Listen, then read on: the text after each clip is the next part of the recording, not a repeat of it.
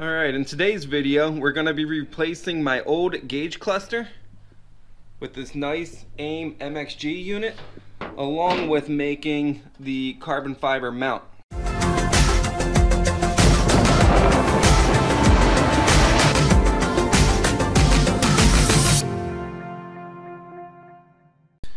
Alright, so here's everything that's going to be replaced. Obviously the tach, oil pressure, water temp, and a boost gauge.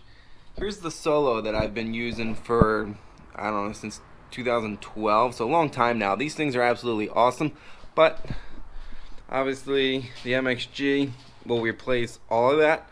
Plus I'll have the ability to hook up a few other sensors to log different things as well. So that's something I want to get into. So we're pretty much going to start by pulling all the old stuff out, figuring out how we're going to mount this. Then we can kind of tackle all the wiring.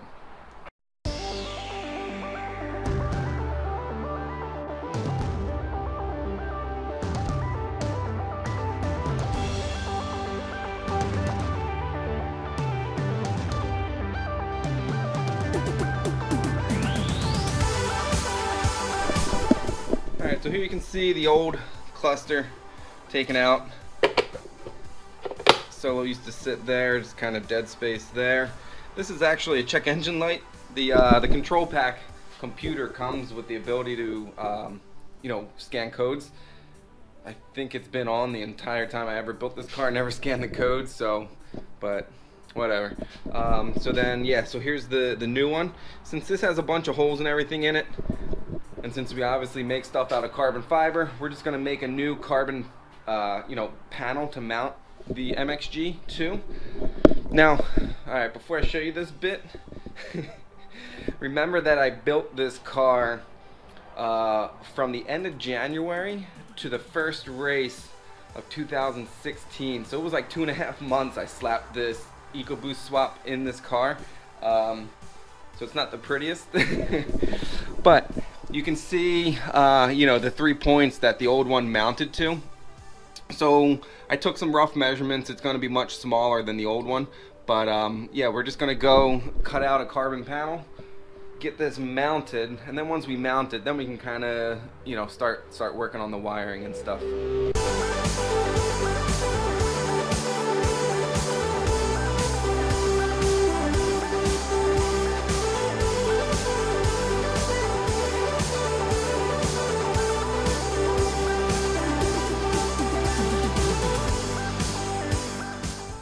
So a quick little tip. Um, if you have to hold something somewhere, these little spring clamps right here are always handy to have a bunch around.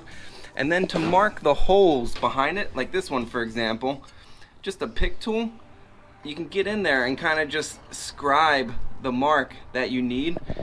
So yeah, so it's a quick easy way to, you know, um, hold something where it needs to be so you're not holding it with one hand and then trying to mark the hole and it might move and your holes might be off whatever so now that that's marked the other thing we have is this one-to-one -one template of where I need to drill the holes that go to the mounts on the back of this and then cut this out so that way everything passes through our carbon panel.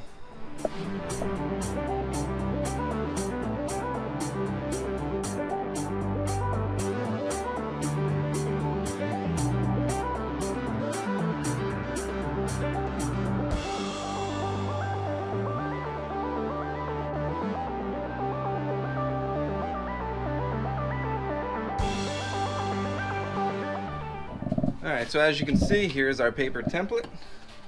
Here is the part we cut with the additional holes to mount it to the car, obviously. And see if everything worked out as it should. see, it goes this way.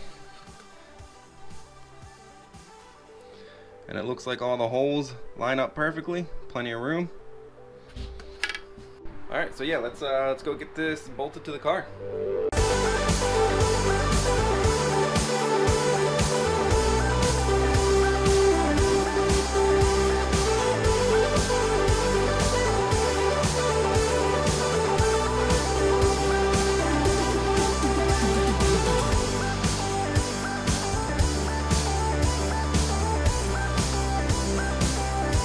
Alright guys, so I very quickly and very hastily um, got a few wires hooked up. So on the old, on the old, the old tach, there was the power, the ground, and the RPM signal, which all comes off of the uh, control pack harness. So super easy to hook up. So I just rehooked those three up right here, kind of just because I'm excited to turn it on. So, ready?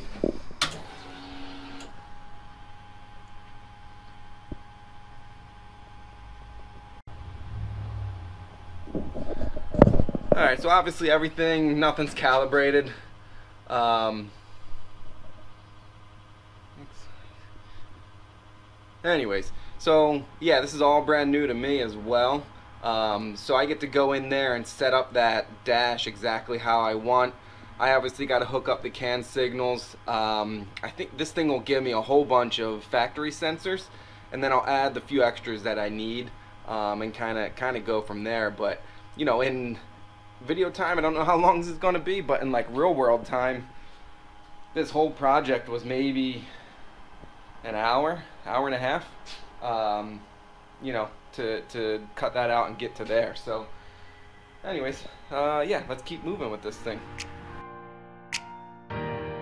Alright, so real quick, I hooked up my laptop to the AIM system as well as the Smarty Cam.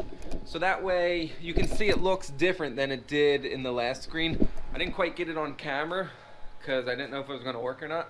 But uh, anyway, it's pretty simple. Um, obviously nothing's going on because the car's not running. And then getting the Smarty Cam hooked up will be cool as well because I'll be able to do video with the overlays uh, of everything. So yeah, oh, and then also this just showed up. So, uh, I'm not going to try and pronounce that, but it's a little tiny uh, 20 gauge, or I think 22 gauge wire kit with all the different colors. So that way I can kind of do something a little bit nicer. Um, again, like when I did this engine swap ooh, four or five years ago, it was kind of just throw it together, get it done. Uh, ironically enough, the car has turned every lap of every race for four seasons, five seasons. Um, so so it worked. It was never the prettiest though. So you can see the the cables here or wires, whatever, are like a, a much smaller uh, gauge than a lot of stuff. You know, normally you'll see you know this type of you know 14, 16, maybe 18 gauge wire.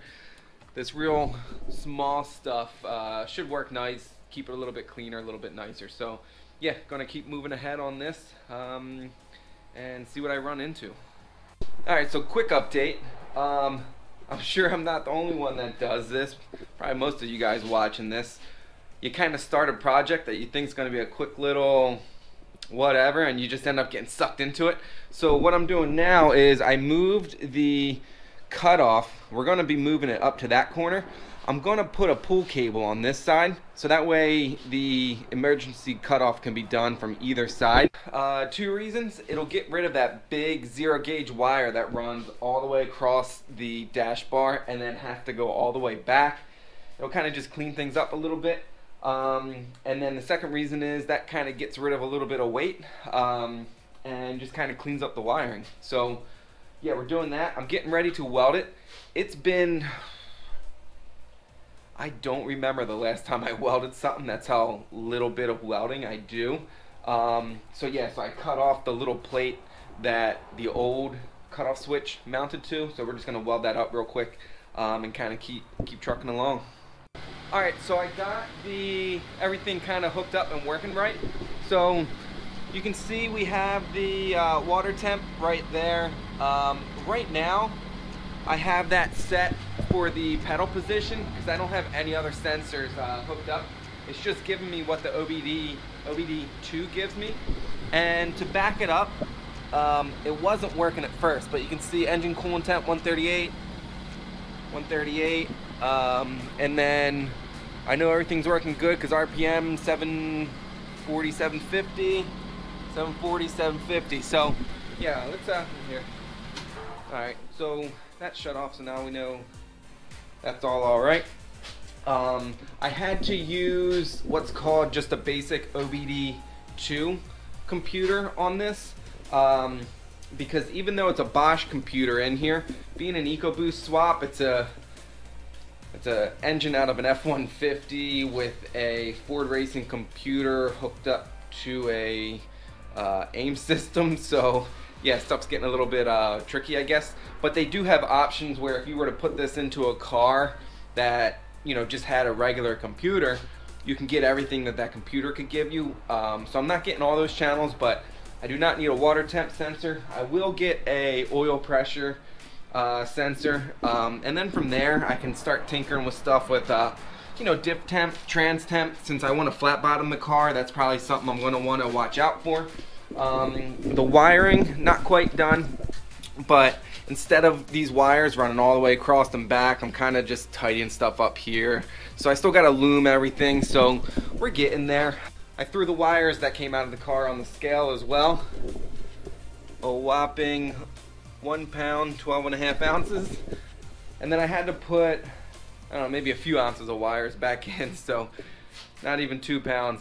Oh well, thought it would have been a little bit more, but um, anyways, it's cleaner, it's a pound, adds up. Alright guys, so last night I finished up the wiring. Didn't really record any of it because wiring is probably the most boring, tedious thing you can do on a car. But you can see, I'll do like an overlay of the video earlier of the whole mess of wires right here.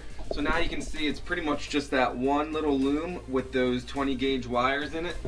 Here's the new, you know, location of the switch and, you know, fuse box and all that stuff. So got this loomed. So yeah, kind of just tidied everything up. So yeah, so for the most part, that little bit of wiring that I wanted to do before next season uh, is done.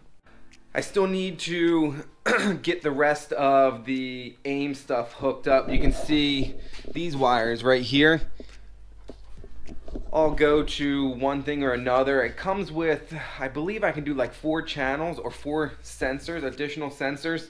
So yeah, so now that the aim is in and the, you know, the basics are done, it's hooked up, it's reading the, the sensors that the engine has, fine.